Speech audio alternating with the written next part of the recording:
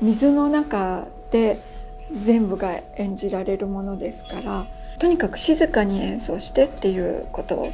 おっしゃられてその坂本さんがおっしゃってることがすごくよくわかるよくわかるっていうかよくこ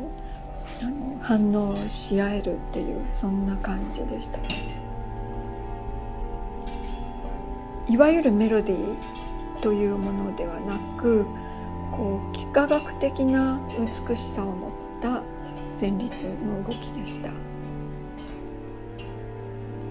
あの自然の中に存在する音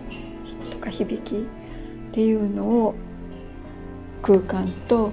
あの存在と音と体験して本当に気持ちいい空間であのこう何か共振してそれぞれの感覚がその中でこう深くなっていくっていうことが